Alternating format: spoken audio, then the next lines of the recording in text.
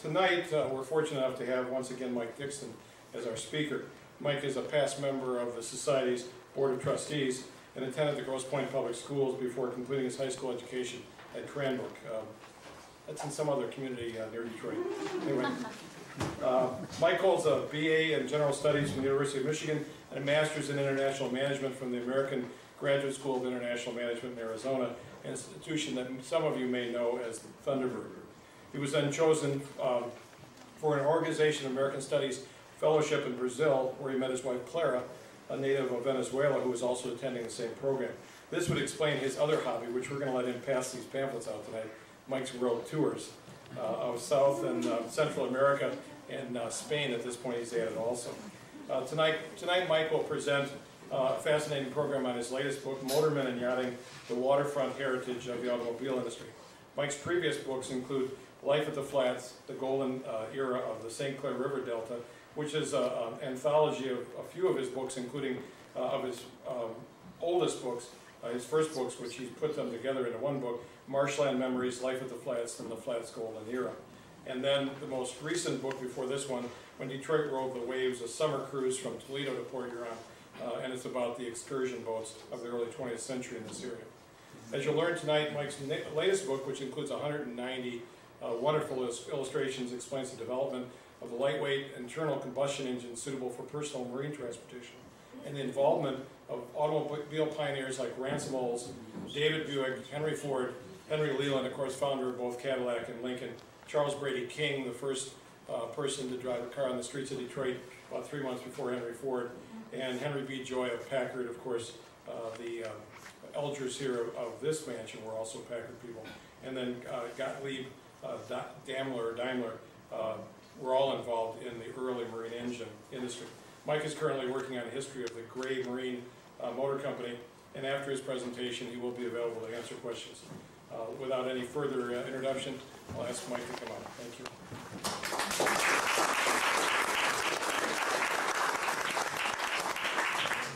I don't have much more to say after that. I'm impressed. Uh, um, I think what I'll do first is just um, go over the, the, how I got to doing this and then explain the book a little bit. Because my slides, uh, um, since I went to digital a number of years ago, and I've been finding it impossible to put a good slideshow together, but there's some. Um, As as Mike me- mentioned, I did Life at the Flats, or a series of books about Harsen's Island, St. Clair Flats first. And I really, do you need the microphone? Yes, Okay. yes. And I really started out doing a scrapbook that um, got carried away and um, led to f- the first one, just doing the part of the flats where I spent summers growing up and, and um, was really recreating my, my youth. And then I said, okay, well, I'll go and do the whole rest of the area. And that easily led to the next um, topic, which was when Detroit rode the waves, because so for the first 50 years of, of, um, of clubs and hotels up on the flats, the only practical way to get there was the excursion boats. And so you couldn't study that area without, that era, without studying something about the boats, and then coming to, uh, becoming aware that Detroit had the largest fleet of passenger boats in the country. Um, I, a number I came up with after I did the book um, was that in 1897, there were 5 million passengers registered by the, um, the government agency that regulated steamships in, going in and out of Detroit. Now, the comparable number for Chicago, which has always been a larger city, was 500,000. And in 1912, that number had risen to 10 million in Detroit and 1 million in Chicago. So I don't know what the New York um, Harbor's numbers were, but I understand that we had the largest fleet any place. And there were a lot of places to go. Right, people would go to the flats, they'd go down to the Lake Erie Islands, they'd go to Boblo, they'd go to Belle Isle. Um, and um, so, it, so, so that led to doing when Detroit rode the waves, uh, which had another component to it. The early illustrations I wanted to tell my stories um, often only survived in postcards. And fortunately, there were a lot of postcard collectors. And coincidentally, Detroit was the home of the leading postcard manufacturer in the country. Um, Detroit Publishing Company published scenes all over the country, but uh, really covered Detroit area well because its owners and founders were um, members of the waterfront clubs. Uh, so a lot of that survived. So I did a history of postcards, which is just kind of an aside. Now, all of this time, I really had started on another topic, which I still haven't finished, which was going to be the history of Gray Marine. But I started noticing connections between all of the names started coming up when I was researching the, the St. Clair Flats during this 1890 boom period. And the 1890s started to fascinate me. And I started to try to look into some of the antecedents of the automotive and um, engine boom in the early 20th century. And what I started to find was that all of the people we know of as the automotive pioneers today, all those people who founded automobile companies in Detroit by, say, 1903, which covers all the biggies, had all, every one of them, built and sold marine engines prior to producing a car, or producing a production car. Um, I say that only so I keep including Ford in it. Um, but we'll start with David Buick. David Buick had no intention of making a car. He had no interest in making a car. He, he's the person who gave us um, uh, modern bathrooms and toilets because he was the American inventor of um, bonding porcelain to cast iron. So he would have been a wealthy man um, just staying in, in, in that industry. But he became fascinated with engines, and he was a yachtsman, and he was a uh, vice commodore at the Detroit Yacht Club about the time he and his partner had a, had a falling out.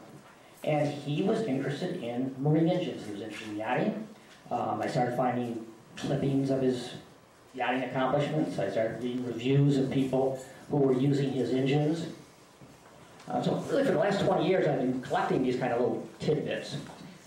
Um, so I'll stay with Buick for, for a moment. In, I do it, yeah, I, I said I was going to outline the book a little bit. So I cover a couple things in the, in, in the book once I got to this, is I do biographies as they relate to their marine engine and early automotive experiments of some key people, Buick, Ford, um, Olds, uh, Daimler, couple names you haven't heard of, or maybe not well, King and Sintz. I'll get back to them. Um, I also do two chapters, one early that I don't think has ever been done any place, which was the pre-Gold Cup era of powerboat racing. And then I do the early era of powerboat racing. Um, Gold Cup started in 1903, and I go up to about 1912.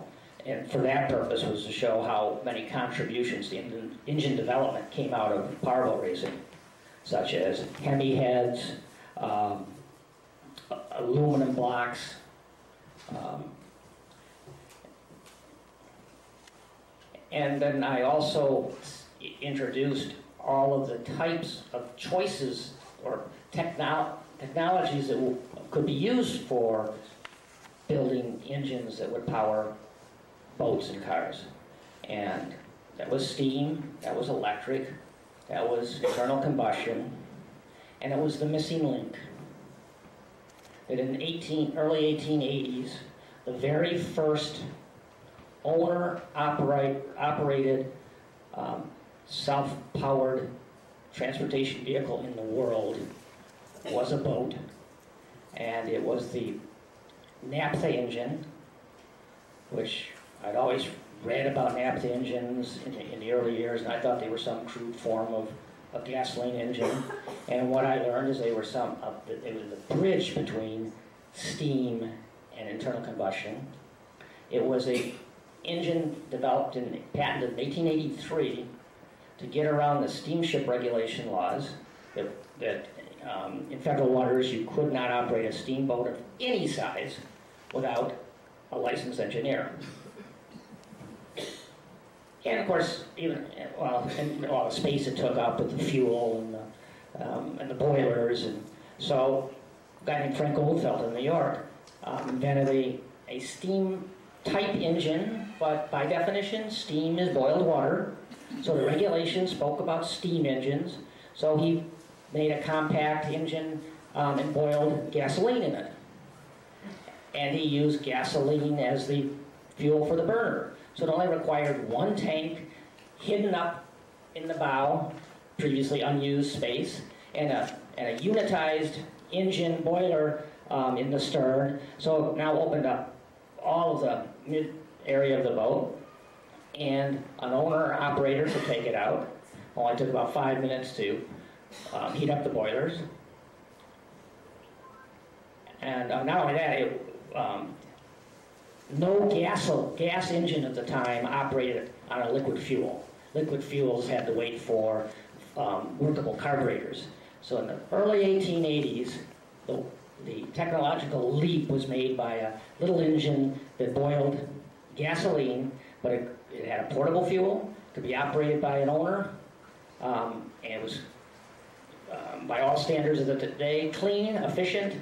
Um, they operated on a technology that people were pretty familiar with, and it popularized power boating. And the naphtha engine became very popular, um, very widely used um, among the very wealthy, um, because it was very expensive. And in- interestingly, it was um, oil money was behind the inve- investment in it, um, because that was an age of transition from from gas lanterns to electricity, so they were looking for another use of, of the gas. So there was a lot of reasons to, to promote it, and um, it popularized power boating. It's what got people, it is what got people thinking about self-powered personal transportation in a way that we have completely forgotten. Um, and, I, and why did why did we forget this? Why did that come up in any other history book of the automotive era that I'd ever read? And the only answer I come up with is when automotive historians were writing about automotive history, they were looking for automotive stuff. and if the, the, the people they were studying had ventured off into some other things that they considered superfluous, they just dropped the whole idea. So, as I say, for 20 years I've been collecting all the little links I found. And, um, and then by, in the 1880s, um, electricity was coming on board, and electric boats were, were um, reasonably popular. Um, Chicago World's Fair, that great technological um, exposition of 1893, there were 50 electric boats being used at the, at the fair, and there were two gas-powered boats, one a Daimler and one a Sintz. And half of those electric boats were built in Detroit. Of the two engine, the Daimler engine and the Sintz engine, everybody's heard of the Daimler, I'm sure, and, and, but you haven't heard of who was building them and selling them. That was Mr. Steinway of the piano fame. He was, he, he was a licensee in, in, in the United States and Canada, and that started in 1891. In the fall of 1895, 19, in, in 1890, early 1896, he, he wrote um, that he was um, disillusioned with the gas engine and the, the drain it was causing on him, um, and his uh, lack of will to prevent it. Uh, he died that fall, and, and the executors uh, wrote his $200,000 investment in the Daimler engine off as worthless. The internal combustion engine had was just about ready to reach a, a level of perfection that would have made it interesting. But in 1896, he, he was frustrated he could not outsell the naphtha engines. He was building the, the boats that he was putting these engines in with the same reputation of quality and, um, as the pianos that were coming out of the same factories in Steinway, New York. But it, it wasn't, wasn't making it. Instead, it was still the Daimler, was still the um, naphtha, but the other engine that was there was the Sintz. And if, anybody here for that? Any, do I get any hands up on that? No. Okay. The Sintz engine is the engine that's in the oldest um, American-made um, internal combustion powered automobile in the Smithsonian. But he was building marine engines. And he was building them in Grand Rapids. Between the early 1890s and the late 1890s, Grand Rapids was the country's center of small gas engines. There were a number of manufacturers there. Exactly why it happened, one fed off the other, I don't know. But Sintz ended up down in Detroit, um, uh, Wolverine ended up in Bridgeport, Connecticut, and two others aren't part of my story ended up um, down here as, as well. Two, a couple people saw the Sintz engine and preferring it at that time over the Daimler, bought, ordered copies of it. One was Charles Brady King, and the other was um, Elwood Haynes.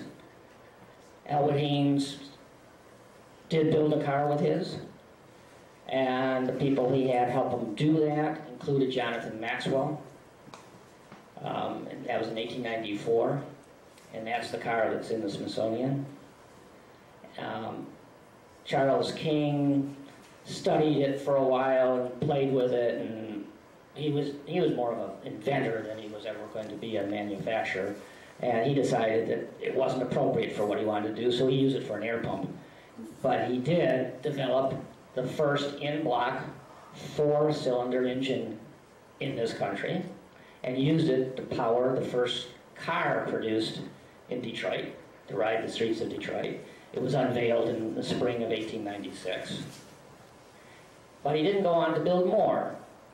He partnered with Henry Joy to manufacture the King Marine engine.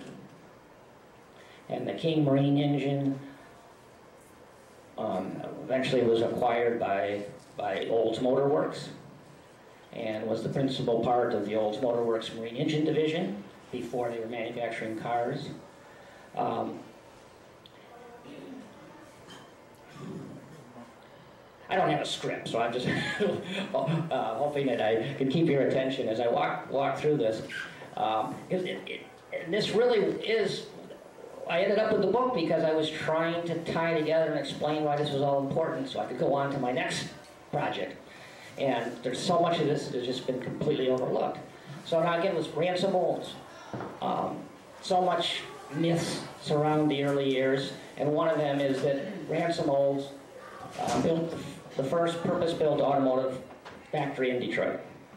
Well, that's not true at all. And although he and his partner, the, the Smiths, um, really started to really dislike each other when they split up, both of them agree that the company was brought from Lansing to Detroit and the factory was built to produce engines. Engines by, 19, by 1899 when he came here were starting to be big money. Too bad for Daimler, I mean, too bad for Steinway, you know, he didn't make it to that point, but in 1899, it was starting to be big business and starting to be big money, and they, and Ransom Olds and um, Charles King were producing marine engines. Um, that's when Buick started to get into the picture. Um, Ransom Olds had started in the 1880s building engines. Um, his father before him, uh, mostly steam engines, but by the early 1890s, he was then experimenting with gas engines. Um, he also built and operated his first gasoline-powered car in 1896. So the Ford, King, and Olds all introduced their gas-powered cars. But what we forget about Olds is in 1889 and 1892, he built steam-powered cars and then he went on to experiment with electric powered cars. And in, eight, in 1901, the engine business was booming. He went on his usual winter vacation. He came back and read in the train station the, the morning's paper that said his factory had burned down the night before.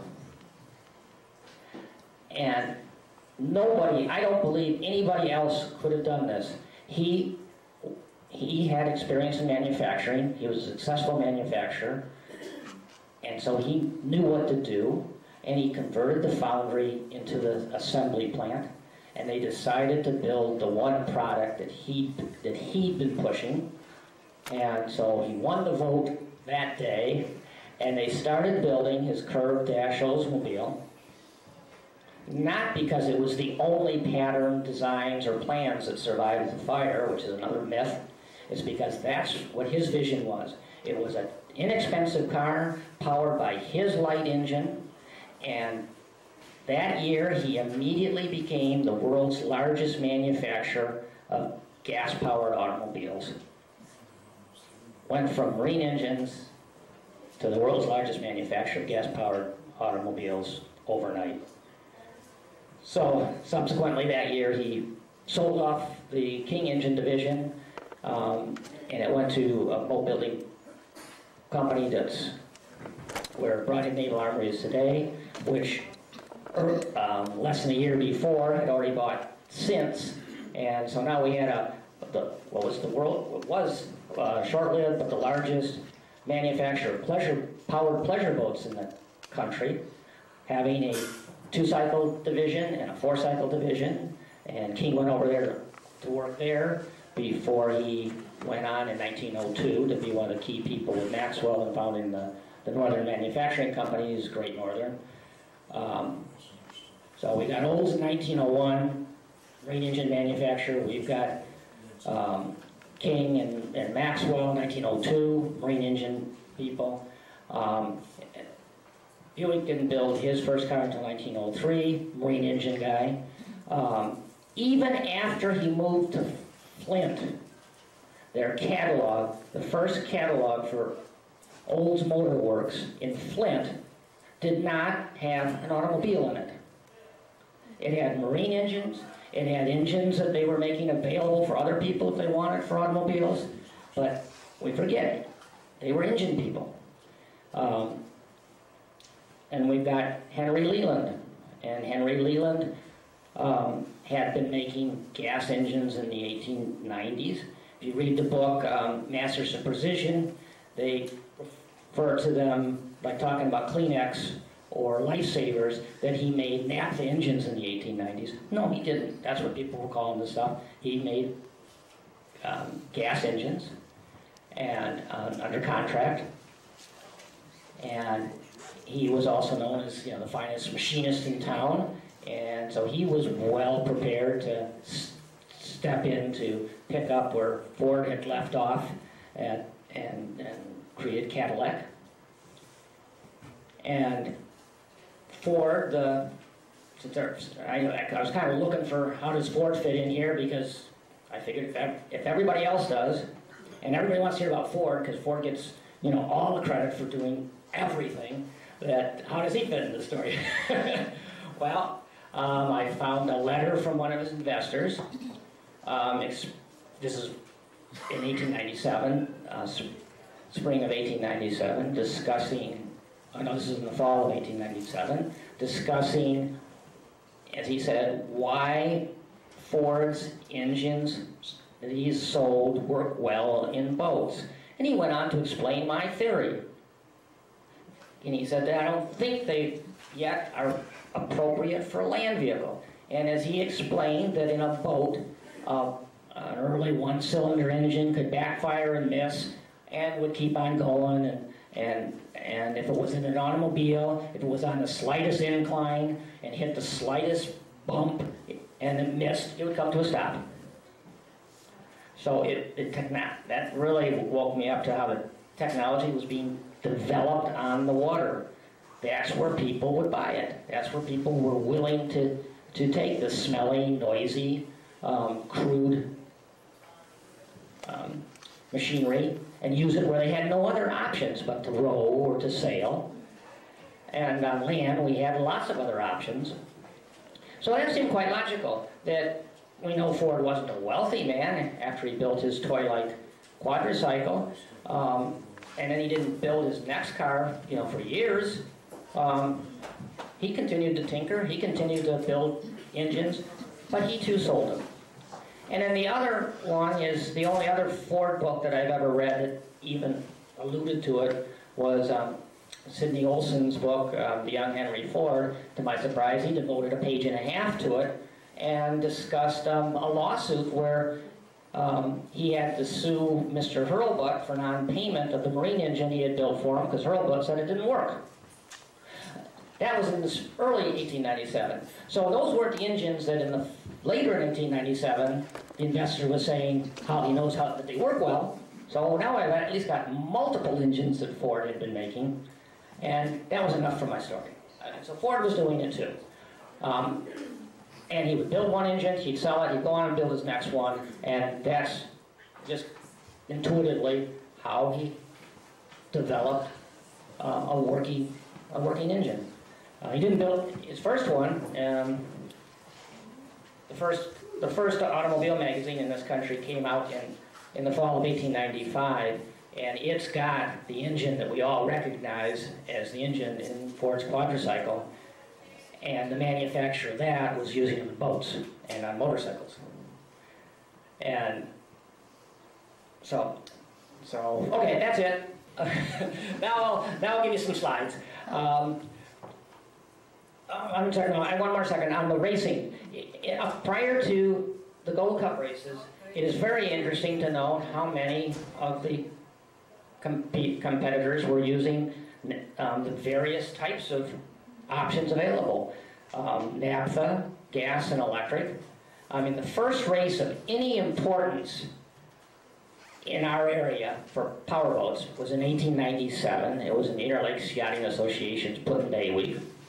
And um, most of them were naphtha. And the one gas engine was a Sintz. And it was by a Detroiter who went down and kind of cleaned up.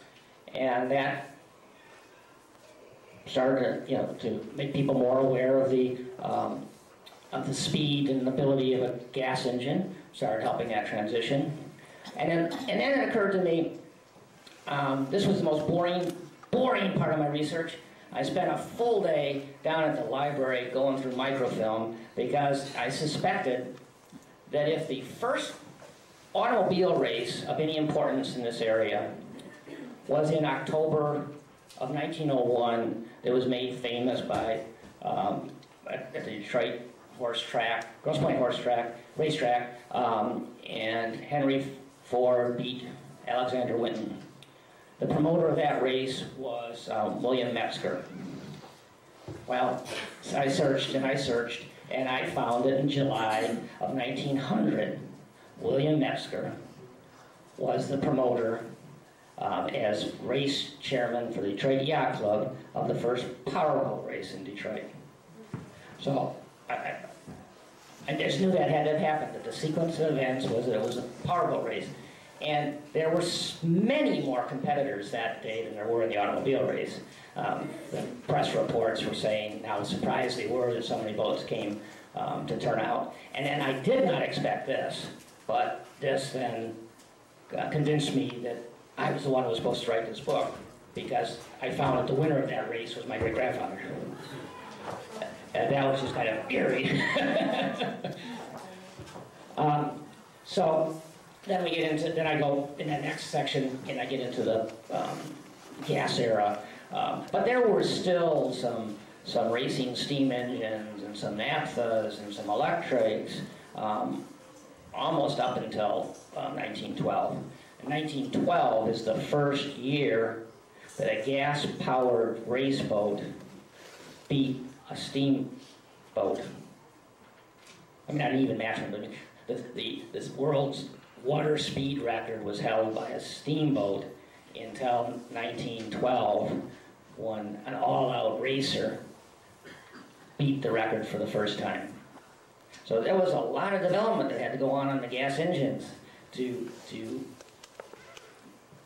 to exceed the performance expectations of what a good steam engine could provide.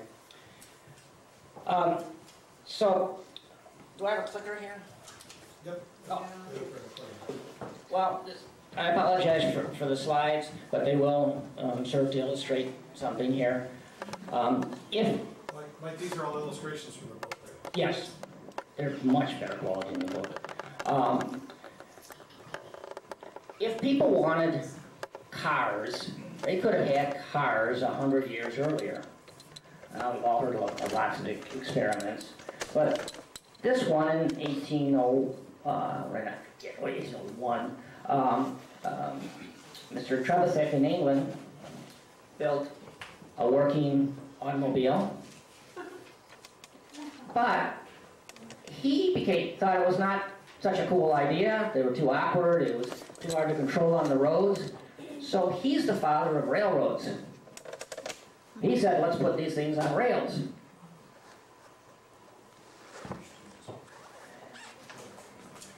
In 1803, in this country, Oliver Evans was commissioned to build a, a steam dredge for the Philadelphia harbor, and his shop was inland, so he built it and um, made it amphibious. And he drove it around for a while before, and did some demos with it, and um, before it slipped into the Philadelphia harbor and went scurrying off doing its dredging, and never again was he asked to build an on a land-powered vehicle. Excuse me, could we turn off the overhead lights so we can see that? Oh, do I have that option? Yeah, go right Right ahead. there. You should be able to right there. Okay. Need some air. Okay, now I'm guaranteed to fall asleep. Okay, um, now, steamboats were, steam-powered boats, um, were advancing much further than steam-powered rails. Um, um, so they, they had already had steamboats in the seventeen hundreds. And the first one on the Great Lakes was 1817, and that was the Walk in the Water. And I gave this lecture last winter, and in and in the audience was the um, rector of, of um, Mariners Church, and he told me that the first pass, I mean, on that first trip, was the, the woman who gave the donation to found Mariners Church. But, um, so, I have this here to point out how important Detroit became early on, and it could have been Toledo. I'm not sure why it wasn't Toledo, really, um, but it was a Buffalo to Detroit run. And Detroit very early became the steamship entrepot for people continuing on west or into the upper Great Lakes. And one of the ones that replaced it, again, it's Buffalo to Detroit. And that has a lot to do with, you know, our our focus in Detroit, pre-automotive, on the waterfront. And I can't see that very well, it's just showing some of the other routes. Um, And so when we get to the era when I was working on the St. Clair Flats history, um, Toledo to Port Huron and all the stops people could make on, on excursion boats, um, again, to emphasize how many places there were to go, and my belief that with five million people on, on the decks of these excursion boats passing through in and out of Detroit, it didn't take very many percentage-wise to be looking over the rails and seeing the pioneer, first the naphtha operators.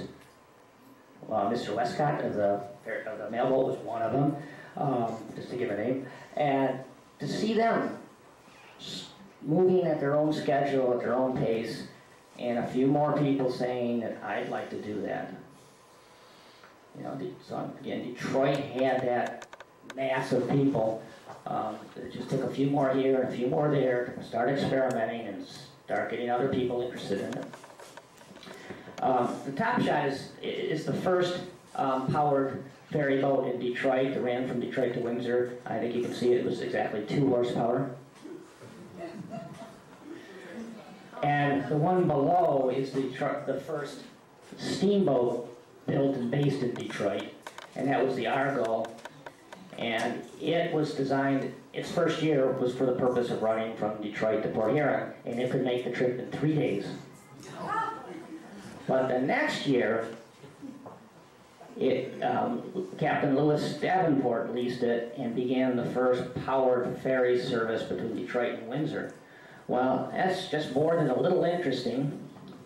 His daughter married George um, Russell, who became the founder of, of the first know, um, uh, well, Detroit's early industrial founder, building rail, rail wheels, um, and, and his, his son, so his grandson, um, was also the first president of Olds Motor Works after Ransom Olds left, and his other grandson was Charles King. They all tie in. um, that's a typical scene around the 1840s. Um, in the, one in the foreground was Oliver Newberry's um, ship, which was the first um, serious, um, prestigious steamship built in Detroit. And another typical scene around uh, the early 1900s. Um, as you can see, um, the, the, the ferries between Detroit, uh, the Black Hull boat there is a D&C, the overnighters, the rest were the Greyhound in the foreground, which was probably running down to Toledo, and it's probably the Tangier in the background, which was getting ready to run up to um, Port Huron. Um, there were three round trips a day between Detroit and Port Port Huron then. And by, by the, by 1900, a lot, all the competition had been going on and the number of fleets had all really consolidated into the White Star Line. And, um, anybody here ever ride the Tashmoo? And I got careful in what I say, I thought I was very young. Anybody here never ride one of the excursion boats, um, like, the- like the Boblo boat? When did they retire the Taj Mahal? When it sank in, um, nineteen thirty-six, Thirty-six? yes. And then it was, um, partitioned off and the, um, pilot house became a cottage up near Wallaceburg until it burnt in nineteen fifty-one, I think. Um, But the Tashmoo was three hundred feet and the Boblo boats were two hundred feet, just to give you kind of a perspective. Um, Just a few ships that should drive home the type of fleets we had here. Um, they also served not only for passengers, but there was a lot of economic viability for them at, at that time because they did carry cargo and they were post offices. I mean, all these stops could not be reached by any place else but boat. So they were also um, post offices, and you'd get stamped, you know, rural free delivery southbound and northbound. Uh, will point out at the Detroit Harbor. But it had, a, it had an unusually um, complete um, collection of uh, accommodations. Um, Teddy Roosevelt was on the inaugural run. Um, a lot of people arrived in Detroit who didn't have any other interest than to get the next boat to get up to Lake Huron and get their, the- either their excursion or their rest away to Chicago. So you could get some private runs, or private dining run. Um, you'd be picked up in Detroit by, in 1912, this was a 1912 electric cab. I mean, again, gas engines weren't, weren't necessarily the answer yet. Um, you'd get a two-hour um, tourist ride. So many people came through here waiting for layovers between one shift to the next. Um, this, this did a two-hour tour of the city. Another typical scene showing the overnighters. I don't really address the overnighters, but they deserve serious consideration as well. Uh, the last one we all remember, or some of us remember.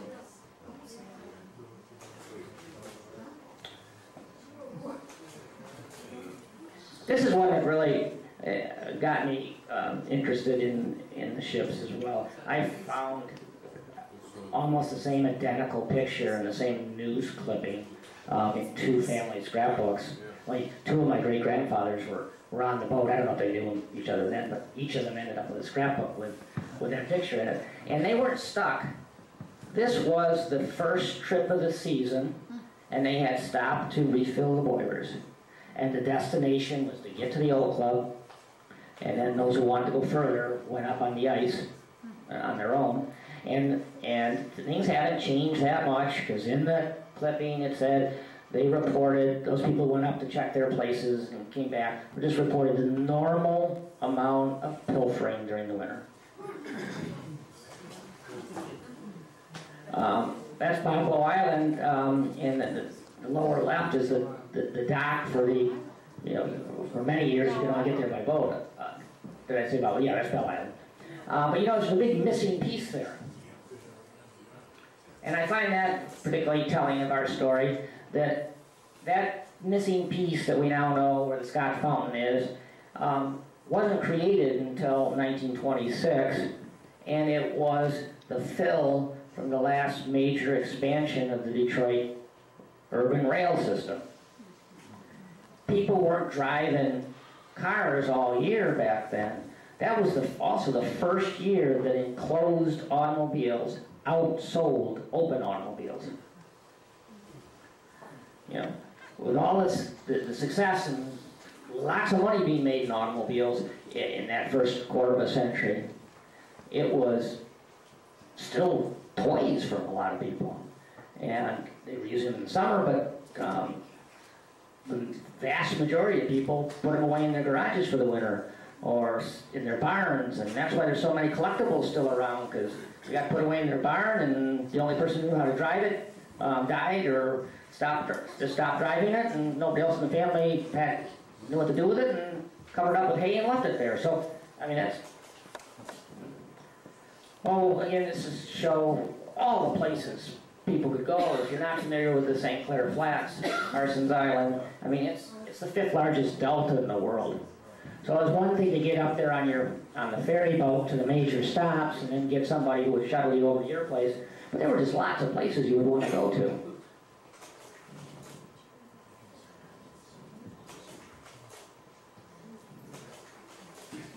That's 1936. The last regularly scheduled pat excursion boat going up the, um, across Lake St. Clair and up in the St. Clair River was the Put-in-Bay. And it was purposely set afire, I think it was in fifty-three, and it was just right out here. And it was, and it was set up at, as a spectacle. Um, it was done to clear the superstructure, um, so they could scrap the iron. And then that's the last of, of the fleet. Now, oh, it's a little high, but that's okay. Um, Keep going. This is what was in 1873 considered a semi-portable engine. And that's not even showing all the, all the space and bulk you needed to have to, to have your fuel. Um, that's the boiler, and the little thing is the engine.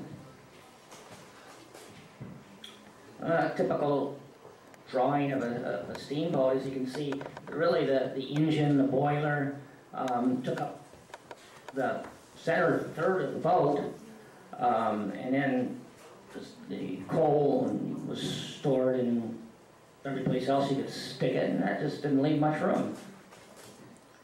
But they were, as a, a, a small one, but again, you can see, um, the, the guy, guy in the back is, is, is working the boiler, doesn't leave much room for, for passengers there, and the, and the operator, uh, he's got room for another person there. Is that the Mike? Yeah, yeah. That's behind the Rushmere. Um, this is, by comparison,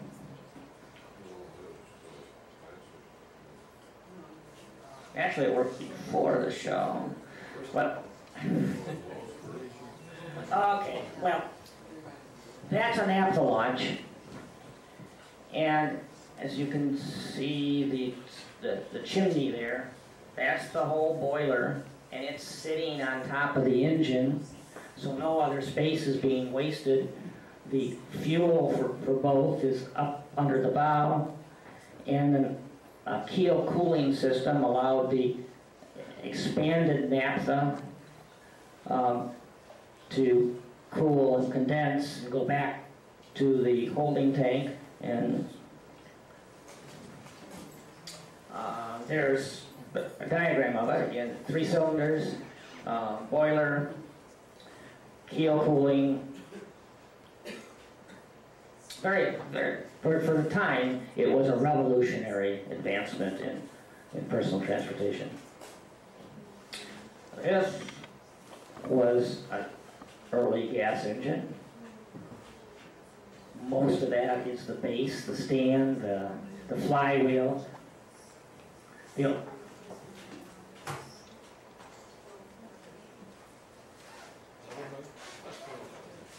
This is the engine. Everything else is here just to support it. Um, this is one. Of, this is one of Ransom Old's early gas engines, um, but it was a stationary engine. It was the gas tank and the water cooling tank, and not much of, of an engine here. But the other thing that took a while to develop was um, ignitions, electric ignition. This was a, a burner to keep the hot tu- tube, it op- operated more like a diesel. So they had kept a, um, a, a hot tube ignition and, um, um, you know, the Daimler's well into the nineties, late nineties, um, well, look at that. Huge contraption. Yeah, that's it. This is the engine. This is the carburetor, and this is the burner for, it, for his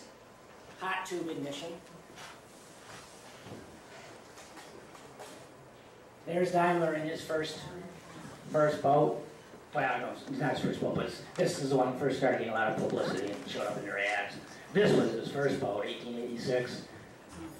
In a news clipping that I had translated, um, that said that he would operate his boats in, in the early morning, and he would have his um, staff go and install the engine in the middle of the night because people were scared to death of gas engines.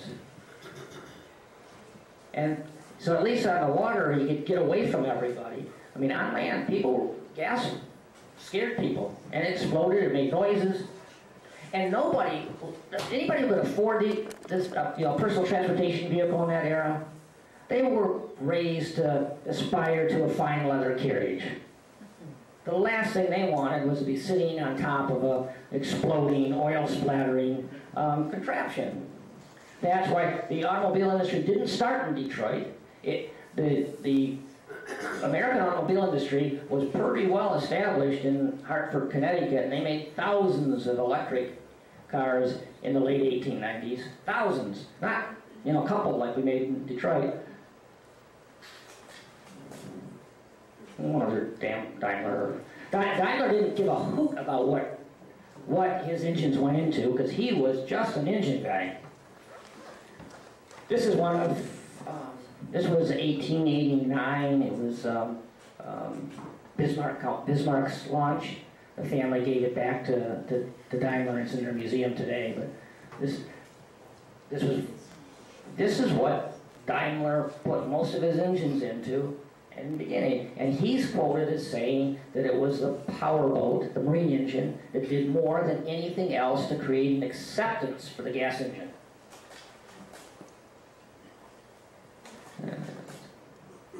That's his, that's his 1887 version. Uh, I wish you could see that better. Um, so here's the 1887 Paris World's Fair. And exhibiting there was both his launch, which we saw earlier in another picture, and on land is that car that I just showed you. I hope you can see it. I can't see it from here, but okay. Um, it's a really good image in the book. And then this is a, a Daimler poster um, where most things of any one type are boats. You've got some fire trucks and some streetcars, and um, you don't really have much in the way of what we consider to be automobiles, but you should have a lot of boats.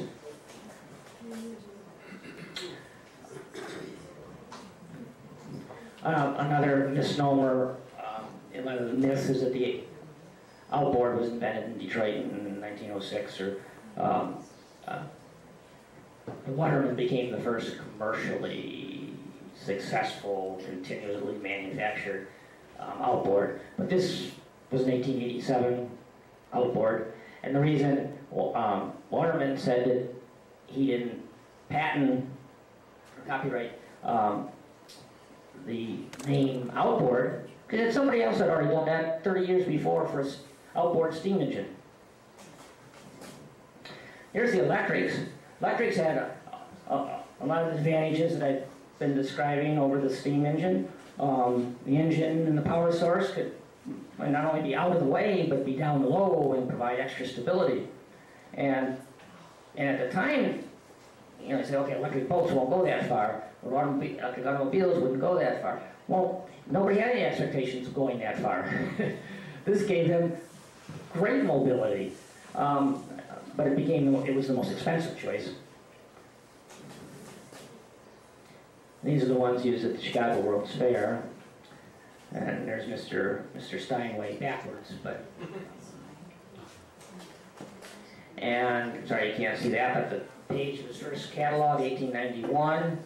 And so it's gas and petroleum motors. So when we talk about gas back then, we're talking about um, gas, not gasoline. Um, and the use, street railroad cars, pleasure boats, carriages.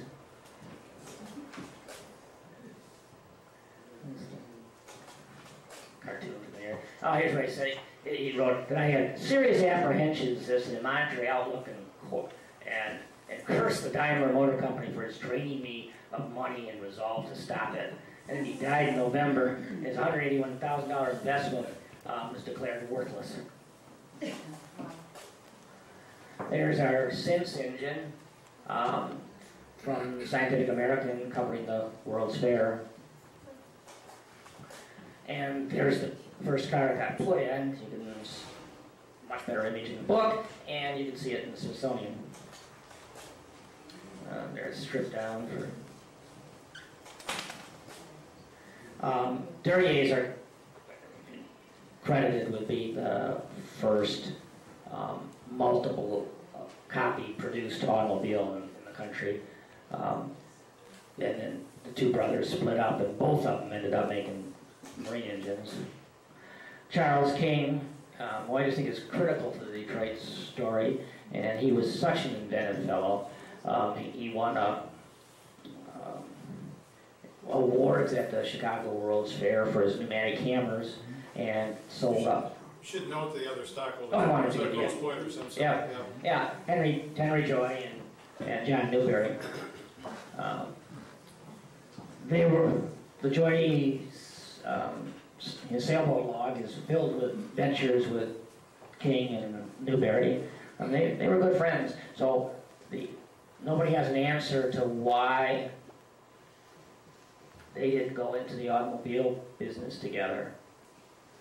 And I think the answer simply is that Charles King was just so much more of a, an inventor and a fantasizer and a good friend that, you know, the engine business was one thing, but when, um, when Joy wanted to go in the automobile business, it, it wasn't because he got sprayed by a steam engine, another myth that goes around. He knew as much as any other businessman in that era about gas engines. So he knew he wanted to get into gas engines.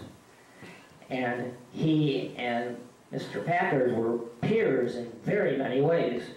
Um, Mr. Packard, like Joy, was the son of a very wealthy man. Neither of them had to, had to work.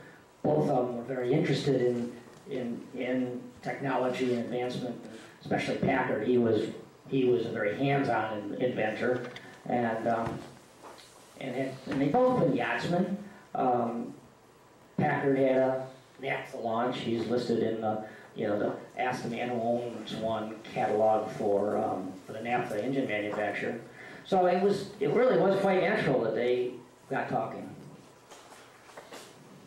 There, that's Henry Joy in the, in the demo launch. That's, um, the engine you might recognize as powering the quadricycle. And it was a first appearing in January, reported in the January 1895 motorcycle show in New York. And here's the letter from Ellery Garfield, who made it through the first two foreign investments. And he says, I do not wonder that you are somewhat discouraged as I am, for Mr. Ford seems to have difficulties as well as all the others. I have, in my mind, a very serious doubt as to whether the gasoline engine um, are the proper thing for motor carriages, or for that matter, any power that is produced by explosion. And he went on to explain, you know, what I was talking about. But says, I can readily see how some of the engines Mr. Ford has made and sold for small boats and work very well. Well, that's plural, so I mean, um, this is uh, Molson's reference to the engine that they built for Will Hurlbert's, Hurlbut's yacht, and it stalled and Hurlbut refused to pay. Um, there's the, oh, that's, uh, it's Highland Park Racetrack, um, which in 1906 might have been included on your tour of Detroit, and then, you know, things were just exploding by 1912. Um, the, I'm just going to the slides, because, um, the, the the first, the first product produced at the Ford River Rouge plant was a boat, an Eagle boat, and it, he hired the the foremost naval architect who designed most of our excursion boats and most of the, o- those overnighters, and also the person that Ford credited with saving his life. Um, What's his name? Kirby. Kirby, Frank, Frank Kirby, and he has on his Hall of Heroes at, um, at the Henry Ford, Kirby's up there with him. Um, this is an old Motorworks ad from 1901. This is when they were still next to the, the uh, Belle Isle, what is Right. Belle Isle Bridge today. Yeah. There's um, a letter from Thomas Buick in night, fall of 1903. Haven't yet, they're on their way to Flint, and he's discussing um, their marine engines and writing to boat builders and telling them that, you know, up to now, you may not have heard of us because we can, we can sell everything we manufacture by word of mouth locally, but we're moving to a new plant in Flint that's going to be state of the art, and we're going to have some serious production, and we want you to know about it because we want you to buy them. And what Buick is famous for its the concept of the overhead valves. Um, a new book on Buick does discuss in more detail that he really wasn't the first to do it, but he was the first one to re- really uh, make a lot of accomplishments with it. And his original reason for doing it was so that you didn't have to pull the engine out of the boat. You could take the head off and take it in for having work done on it. That was the only thing described in this catalog, the only purpose for it. Um, all the people that we've discussed or that you've heard about um, were only, you know, this, uh, um, a, a few of the many. And um, what the heck is his name? Um, oh, uh, Bloom, Blomstrom. Blomstrom was one of the most prolific inventors and involved with more automobile companies than anybody else I can find. But that wasn't the importance. He started out building marine engines, he built cars, but in 1901, he was building a boat and, uh, 1903, a boat and engine combination for $100. And he couldn't keep up the production, and he was contracting um, boats from others.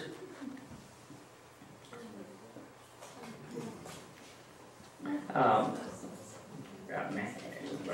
Hacker-Crafts, or the, uh, Steinways of, of boats, as they used to be called until now I realized, until I learned that Steinway actually did build boats. So, um, but, but that was, um, one of the first three-point, or one of the first hydroplane, not three-point, hydroplanes, um, built, and that was one of his. That's the overhead valve, heavy head, um, that powered the, um, first, yeah, internal combustion engine boat that beat the, speed record. And I, my story really starts, really ends around nineteen twelve, when we went from the boat that's not making it on the screen to the transition to, um, the, the Chris Smith boats, um, and the small, overpowered boats that couldn't be used for anything else except racing, compared to the other ones that had displacement hulls and, um, and when they weren't racing, they would use it for family boats. And then, and then, Mike doesn't cover these, because, um, but, you know, then things evolved into the huge Packard engine powering Gar Wood's boat. Um,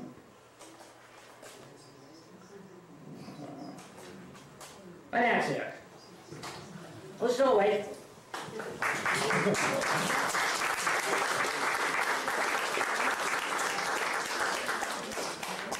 Questions for Mike?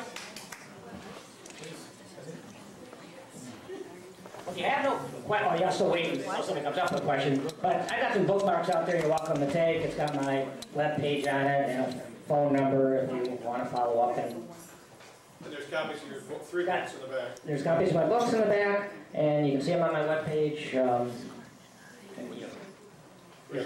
no other book like me. Great, well, we come for other programs, but I want to thank you very much for coming.